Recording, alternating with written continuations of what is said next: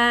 Día de hoy quiero hacer algo diferente. Muchas personas me han preguntado a lo largo de mi recorrido cómo empezó el tema de la numerología en mi vida, qué fue lo que me llamó, cómo fue que llegó y quiero compartir con ustedes esta historia también. Todo empezó en un momento muy oscuro de mi vida. Estaba pasando por un momento como muy turbulento, de muy baja vibración y recuerdo que llegó un momento donde me sentía tan perdida como tan sin sentido que me dije a mí misma, no soy nada especial, no tengo un propósito, simplemente soy una más y qué me hace especial o por qué pienso que tengo un sentido de vida. Y esa noche, justamente después de que dije eso, conocí a un numerólogo que después fue mi maestro. La manera en que sucedió fue en un retiro espiritual donde estábamos en vela toda la noche y nos tocó en esa brigada al numerólogo, otra amiga y yo. Y toda la noche despiertos y conversando, él nos contó de la numerología y le preguntó a mi amiga su fecha de nacimiento. Cuando él empieza a decir las cosas, mi amiga empieza a llorar, a llorar, a llorar, a llorar. Había tocado